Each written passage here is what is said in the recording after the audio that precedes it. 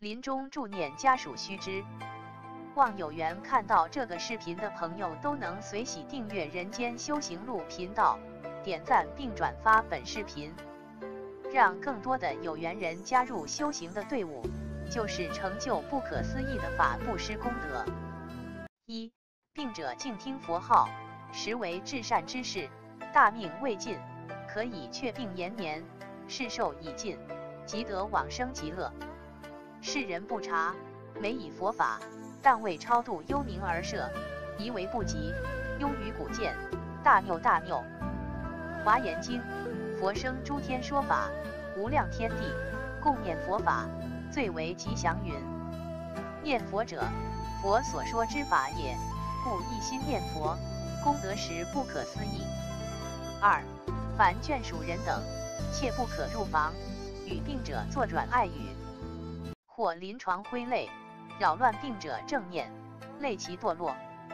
三、病者出气绝后，切忌哭泣，切忌开洗手足、搬动身体、调换衣服等事。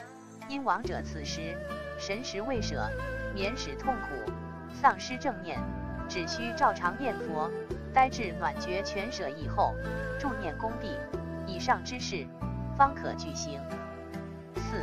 王、者暖觉全舍以后。臂膝弯曲，难以正直，可用热水手巾搭于臂膝弯处，自然照圆。其实曲意和蔼，切不可听从世俗之谈，为亡人手足不直，来生将成折弓、跛足之人。此等谬见，稍有识者，即知其妄。盖修行有的者，多侧卧而视，称为吉祥事，或作画立王。夫侧卧作画。手足必屈，不便自明，即释迦牟尼佛涅盘时，亦侧身右斜而卧，故亡人身体之正直与否，实不成问题也。